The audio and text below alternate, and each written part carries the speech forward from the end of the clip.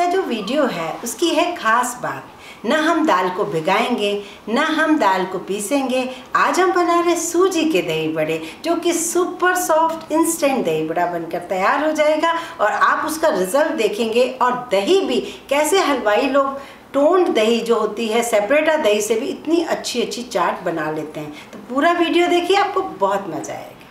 हाँ तो अब सबसे पहले ये जो दही है वन लीटर मिल्क से मैंने दही बनाया हुआ है। तो इसमें हलवाई लोग, ये लोग जो बनाते हैं ना, दही, बहुत बढ़िया सा मीठा दही, जबकि उनका दही गाढ़ा भी नहीं होता, सेपरेटा दही होता है, लेकिन फिर भी वो बहुत ही बढ़िया बनाते हैं तो इसी ट्रिक से बनाते हैं। तो हम लोग क्या कर रहे हैं, एक लीटर दूध में मैंने करीब करीब डेढ़ सौ ग्राम चीनी डाल दी है और चीनी डाल के बस इस तरीके से मिक्स करना है, जिससे चीनी जो है अपने आप इसमें घुल जाएगी और फिर मैं एक ट्रिक बताऊँगी, जिससे दही और अच्छा टेस्टी लगेगा और फिर हमें इसका सीक्रेट पता चलेगा कि वाकई ये हलवाई लोग चाट में कैसे दही बनाते हैं। चलते हैं अब अब दही बड़ा बनाने के लिए। हाँ तो मैंने बताया ना कि इस दही बड़े को ना तो हम किसी दाल को धोएँगे, भिगा के रखेंगे, पीसेंगे तो हम ऐसे कौन से दही बड़े बनाने वाले जो इंस्टेंट फटाफट मन करे और दही बड़ा बना लें। तो हमने लिया है वन कप बारीक सूजी। मोटी भी होगी तो चलेगी, इसमें चल जाएगी। और इसी में मैं डाल रही हूँ हाफ़ कप दही। नॉर्मल दही है हमारे पास।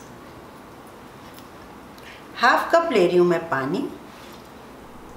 इसमें डालूँगी मैं बहुत थोड़ा सा नमक, करीब वन फोर्थ टी स्पून इस सूजी को हम मिक्स करेंगे, लेकिन पानी धीरे धीरे डालेंगे।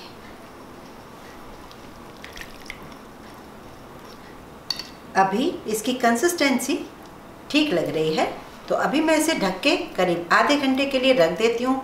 कम से कम 20 मिनट तो रखें, अगर आधा घंटा रख दें तो बहुत बढ़िया। इसमें अभी कुछ ना डालें और फिर हम मिलेंगे आधे घंटे बाद, और फिर ज़रूरत पड़ेगी तो मुझे थोड़ा पानी डालना पड़ेगा। अब हम इस सूजी को चेक करते हैं। सूजी का मिश्रण काफ़ी थिक हो गया है।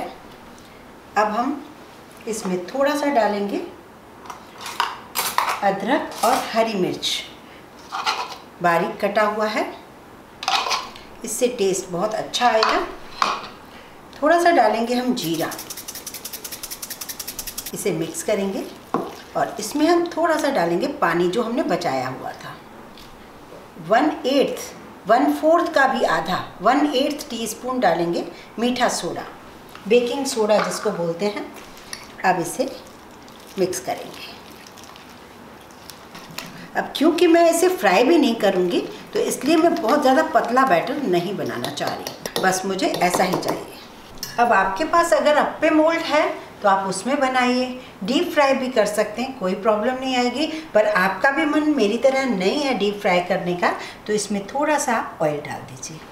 करीब दो टेबल स्पून के आसपास।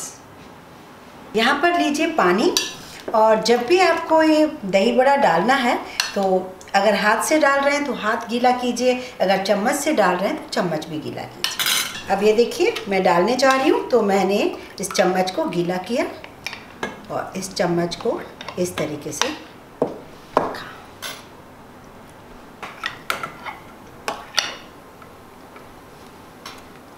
जिस साइज़ का आपको दही बड़ा चाहिए।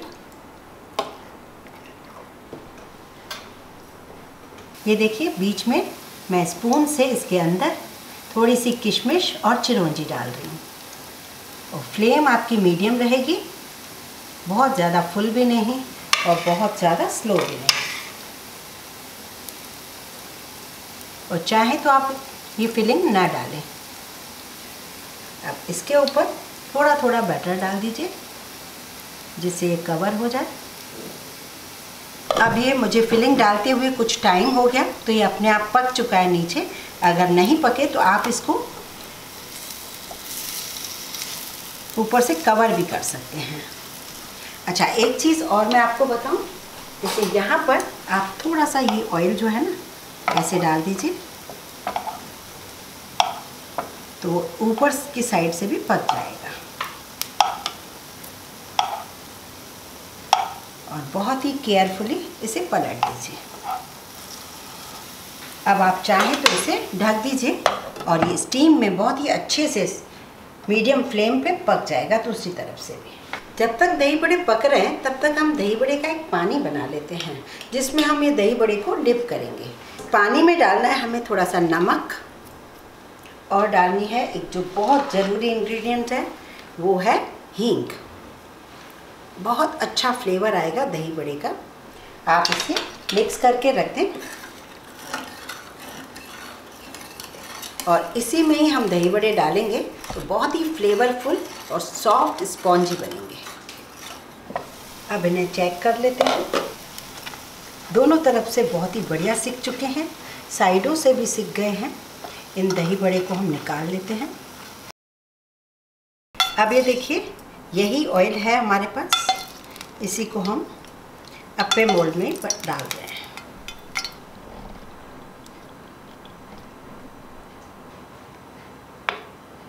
इसको हम ढक देते हैं। लो टू मीडियम रखेंगे फ्लेम इस पानी में हमें इन दही बड़ों को डालते जाना है।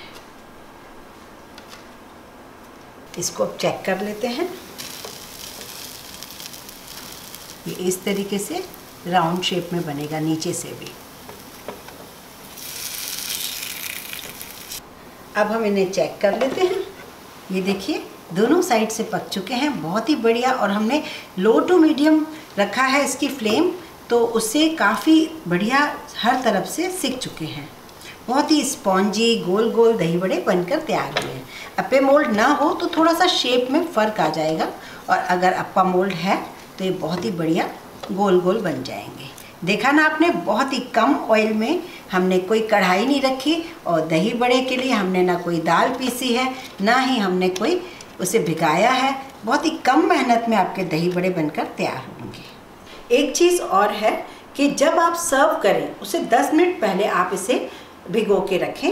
जैसे अभी मुझे कुछ चाहिए, कुछ नहीं चाहिए तो आप इसको कवर करके फ्रिज में रख दें। जैसे आपको कल भी बनाने हैं तो आप बना सकते हो। सिर्फ़ पानी को हल्का सा गर्म कर दीजिए, हींग और पानी डालकर उसे थोड़ा 10 मिनट इसे रख देंगे तो उतने ही सॉफ्ट मिलेंगे। तो कोई टेंशन नहीं, अभी हम तीन चार पीस ये भी डाल देते हैं इस पानी में।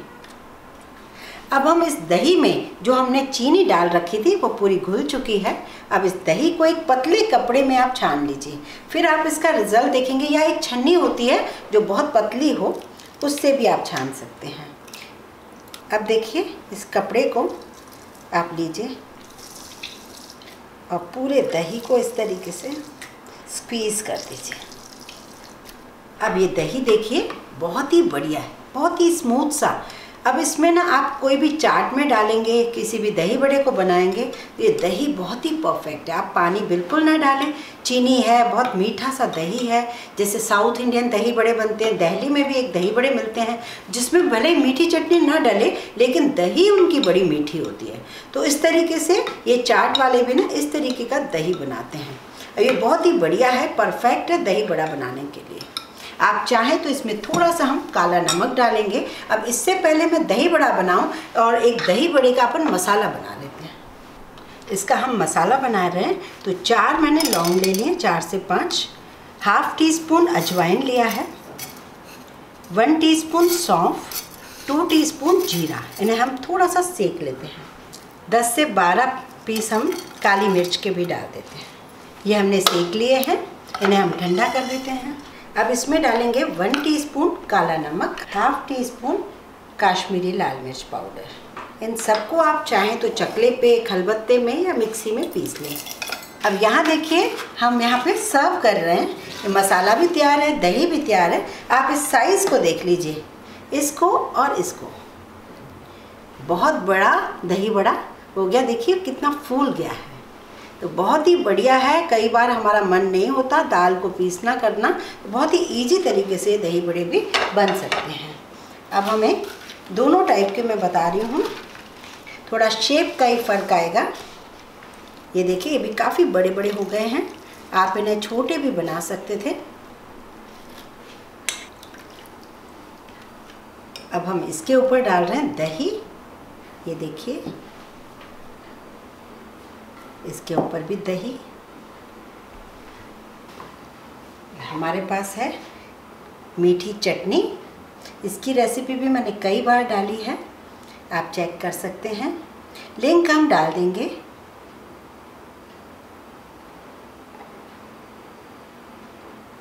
अगर आपके पास भी हरी चटनी भी है तो थोड़ी सी हरी चटनी भी डाल सकते हैं। वापस थोड़ी सी दही। और ये जो सबसे ज़्यादा स्वाद बढ़ाने वाला है मसाला, दही बड़े का मसाला।